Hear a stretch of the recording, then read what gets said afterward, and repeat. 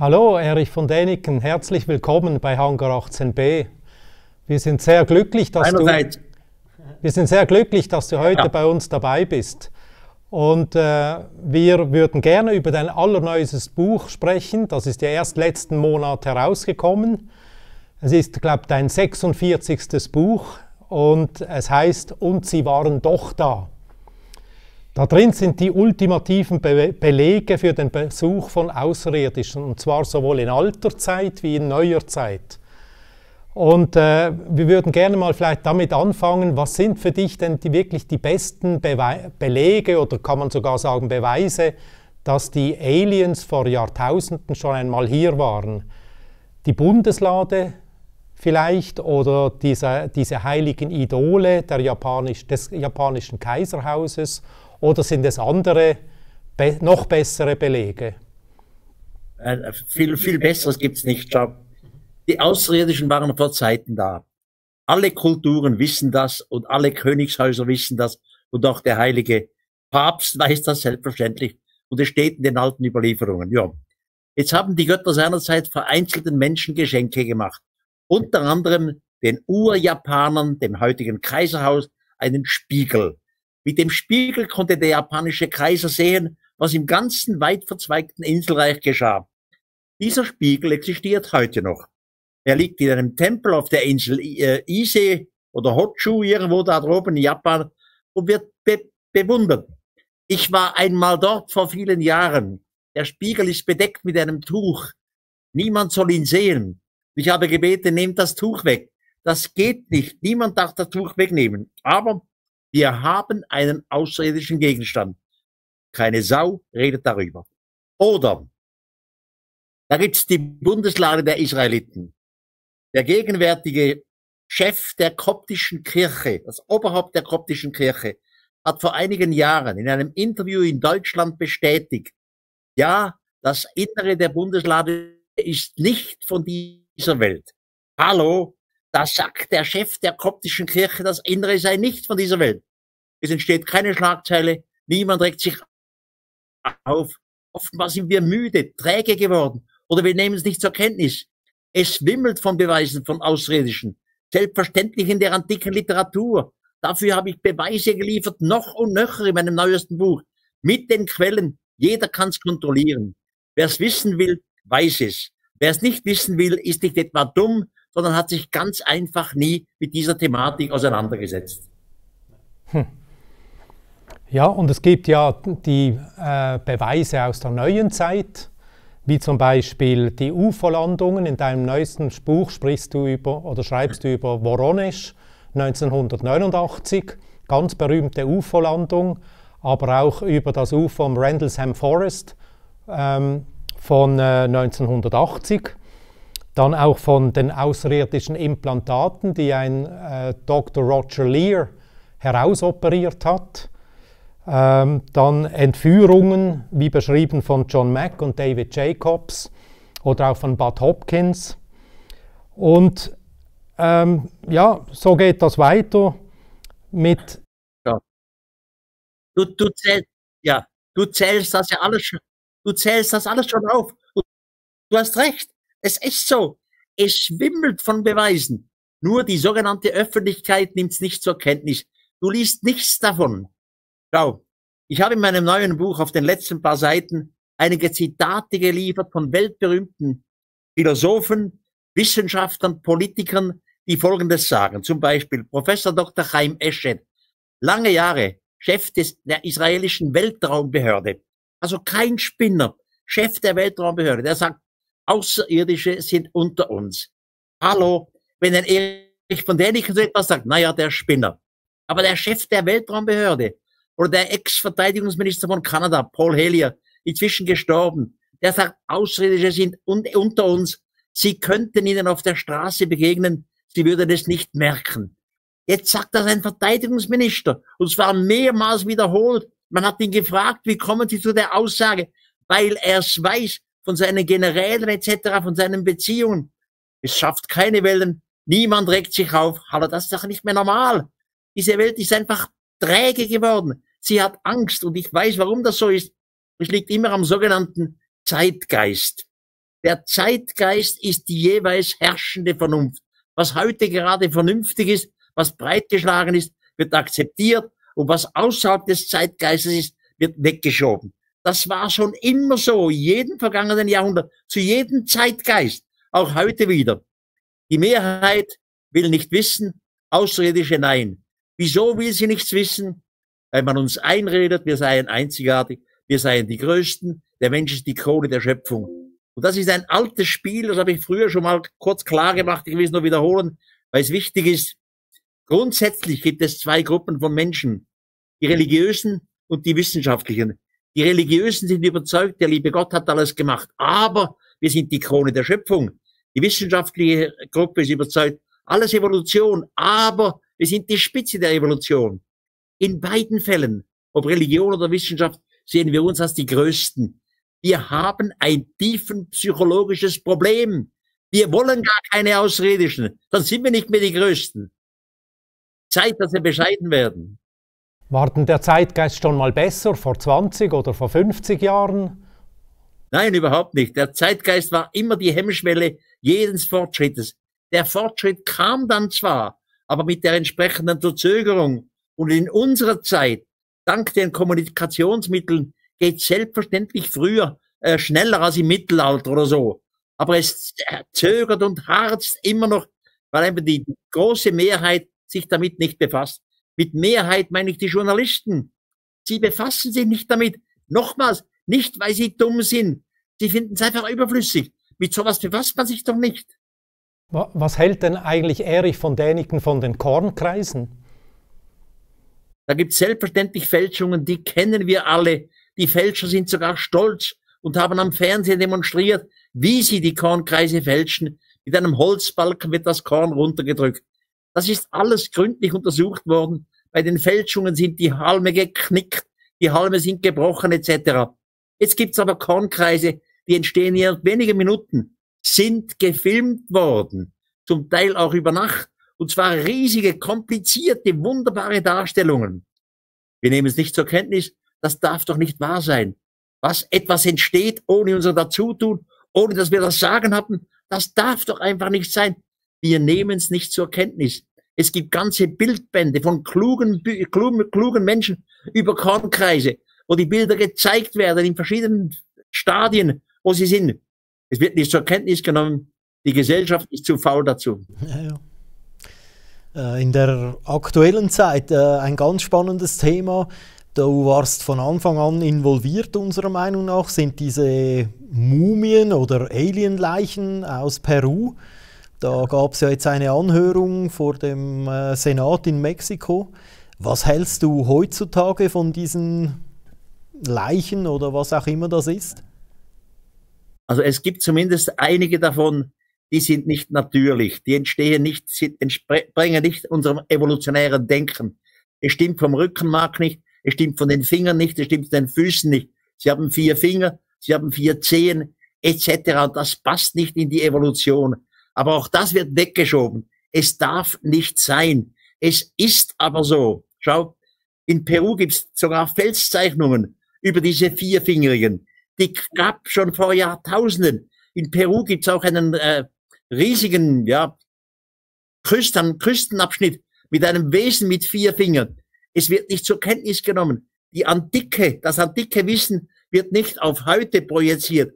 Man sollte es projizieren. Ich bin einer der wenigen, der es tut. So, ich bin tatsächlich der Meinung, in Peru haben wir außerirdische Skelette gefunden. Aber wieder mal, das darf nicht sein. Der Mensch duldet das nicht. Wir sind doch die Größten. Stimmt das, dass du da irgendwo involviert warst oder war, dir wurden die mal angeboten? Stimmt das? Ja, man hat mir mal eine Mumie angeboten, allerdings für viel Geld. Ich hätte es nie gekauft. Ich hätte so eine Mumie nie gekauft. Was soll ich damit anfangen? Ich habe kein Museum. Das ist das Thema irgendeines Museums. Bei mir kann man sowas nicht bestaunen. Aber denkst du, das bringt jetzt irgendwie uns weiter in dem Thema, jetzt die neuesten Entwicklungen? Oder wie siehst du das? Ja, die neuen Entwicklungen, aber nicht mit der Mumie. Die neuen Entwicklungen sind die Sachen der UFOs. Das bringt uns weiter. Und der Zeitgeist, der sich ändert, dass immer mehr Wissenschaftler und Politiker dazu stehen. Wir sind nicht alleine. Außerirdische sind unter uns. Heute und jetzt. Schau. Vor Jahrtausenden waren sie da. Das kann der Erich von Däniken beweisen. Das ist keine Hypothese, das ist keine Spekulation, das ist keine Theorie. Das kann man beweisen. Man muss keine 46 Bücher von mir lesen. Drei davon reichen. Lies das Neueste und dann hast du die Beweise, hast du genug davon. So, sie waren da. Und seinerzeit vor Jahrtausenden haben sie versprochen, in einer fernen Zukunft würden sie wiederkommen. Jetzt ist die Wiederkunftszeit da. Sie sind aufgetaucht. Sie sind aber so freundlich, schockieren uns nicht, weil sie genau wissen, wie die Menschheit reagiert. Ich habe noch vor ein paar Wochen ein Telefonat gehabt mit einem bekannten Wissenschaftler und der sagte mir, Erich, wir sind froh, dass du die Dinge in die Öffentlichkeit bringst. Du bist ein Laie. Du bist kein Wissenschaftler. Wenn ich als Wissenschaftler kommen würde und sagen würde, und zwar als Anthropologe oder als, als Astrophysiker, Ausländer sind da unter uns, würde ich einen Sturm der Entrüstung ernten und meine eigenen Kollegen aus der Wissenschaft würden mich irgendwie kontraproduzieren. Sie würden mich abschießen, sagen, ja, was ist denn jetzt los mit dem Professor Doktor? Tickt der nicht mehr richtig? Ist der plötzlich in einer Sekte hörig etc.? Wir sind froh, dass es dich gibt, den Laien, der diese Dinge in die Öffentlichkeit bringt. Du darfst sie in die Öffentlichkeit bringen. Wir können darüber streiten, dafür, dagegen sein, lachen oder unterstützen. Aber der Aufwand muss von, von außen kommen. Er kommt nicht vom inneren wissenschaftlichen Kreis. Und deshalb ist die Arbeit, die ich mache, eigentlich gar nicht so schlecht. Sie hilft, den Zeitgeist zu verändern. Wir müssen begreifen, wir sind nicht allein. Außerirdische gibt's. Und zwar gleich hunderttausendfach. Und einige davon sind unter uns. In deinem neuesten Buch schreibst du auch noch über die künstliche Intelligenz oder die ja. Gefahr der künstlichen Intelligenz. Welche Gefahren siehst du da genau und hat die künstliche Intelligenz vielleicht auch einen Einfluss auf den Zeitgeist? Also schau, ich befürchte, die künstliche Intelligenz wird uns übernehmen. Ich habe eher Angst vor der Zukunft, was die künstliche Intelligenz betrifft. Die wird uns längstens über, über, überrollen. Ich habe in meinem Buch auf den letzten zwei Seiten ein Beispiel gegeben. Da war eine Konferenz in Genf zwischen Wissenschaftlern der KI, also künstliche Intelligenz, und Robotern. Das waren tatsächlich künstliche Intelligenz. Und einer der künstlichen Intelligenzfiguren sagte zum Wissenschaftler, wir werden euch überleben, wir werden euch übernehmen. Und er hat recht. Dasselbe Thema ist schon vor über 30, 40 Jahren vom berühmten Schriftsteller Asimov aufgearbeitet worden. Er hat mal ein Buch rausgegeben, das trug den Titel I, Robot. Ich, der Roboter. Und da kam es zu einem Gespräch zwischen einem Roboter und einem Menschen. Und der Roboter hat damals dem Menschen gesagt, wir werden euch übernehmen. Und der Mensch sagt, nein, niemals, wir haben euch geschaffen. Wir werden, wir werden euch überleben. Der Roboter sagt, schau mal, ihr habt ein Herz. Das Herz schlägt. Das Herz kann aussetzen. Das seid ihr geliefert. Ihr habt eine Niere. Ihr habt Innereien, Weichteile, die krank werden können. Wir haben keine Weichteile. Bei uns wird nicht krank.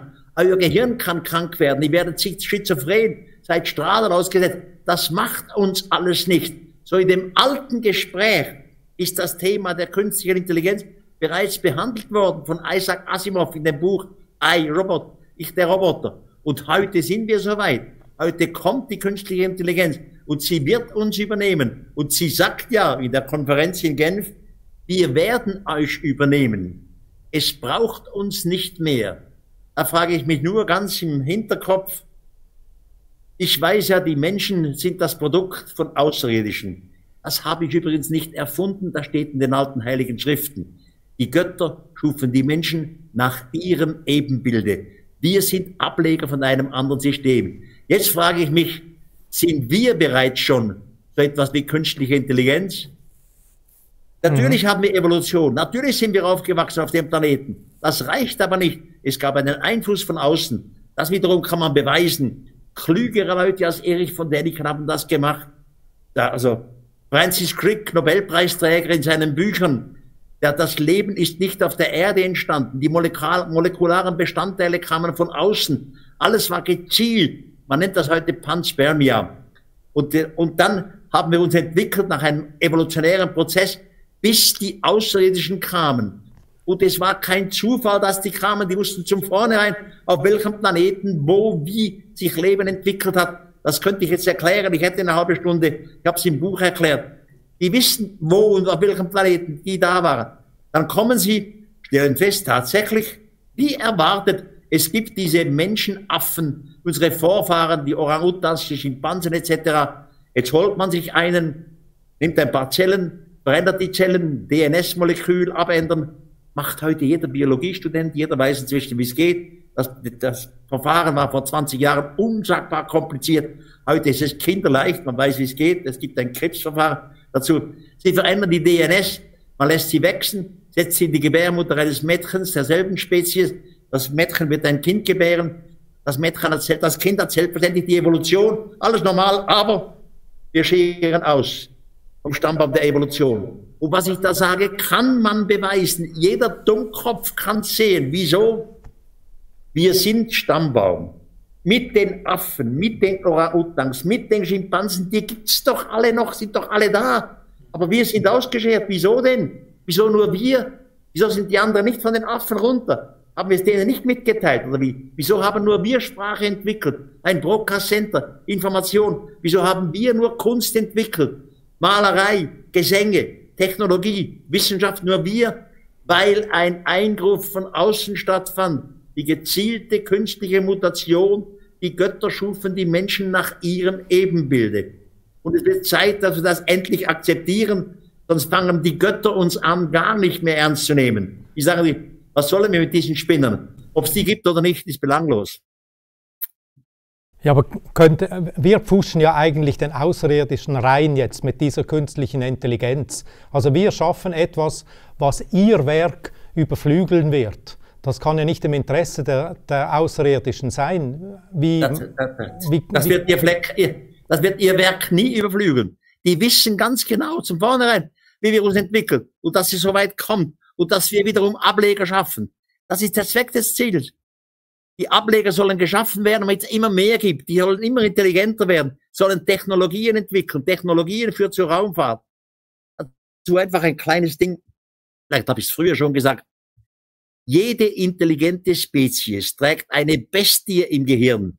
Sonst ist sie nicht intelligent. Die Bestie heißt Neugierde. Machen Sie mal was gegen die Neugierde. Und die Neugierde zwingt unweigerlich jede Spezies zur Raumfahrt. Wieso bitte? Nehmen Sie mal an, wir wüssten alles. Träumen Sie mit mir. Wir wissen alles über den Menschen, über das menschliche Gehirn, über sein Verhalten. Wir haben die Gehirne aller Tiere durchsucht.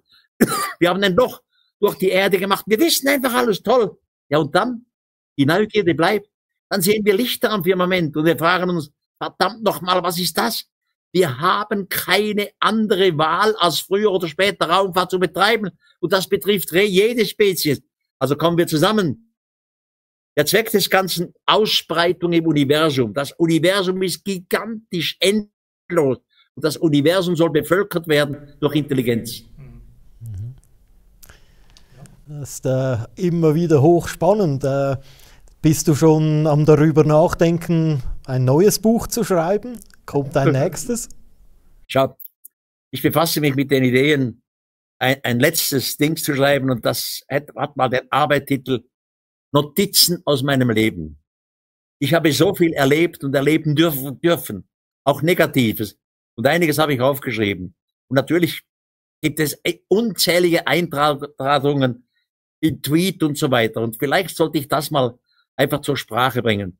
Notizen aus meinem Leben. Vom Ärgerlichen und vom Erfreulichen.